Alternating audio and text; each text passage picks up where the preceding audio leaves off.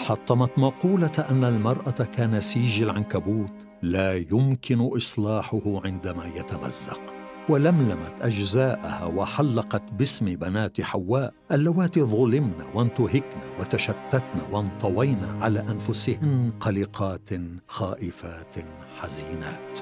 ولدت في العراق في أيام صدام حسين واختبرت بعضا من تفاصيل ذاك الزمان. ودفعت اثمانا باهظة سكبتها في حبر سال في كتب روت فيها قباحة العيش في ظل صدام حسين.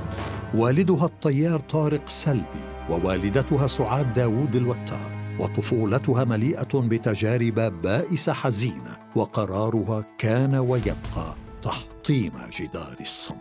هاجرت إلى الولايات المتحدة الأمريكية درست علم الاجتماع وأحوال المرأة والتنمية. حاولت أن تنسى جاهدت وفي كلها ظلت ترى الوردة تتفتح والشمس تشرق والنهر ينساب.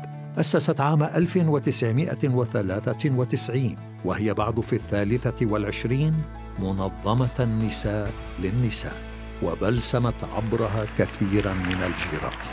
قابلت كبارا وأطلت عبر الشاشة مقدمة برامج تستعرض قصص الظلم وتكسر الصمت وتحول الدمار إلى طاقة خلق واستحقت جوائز وكثيرا من التقدير.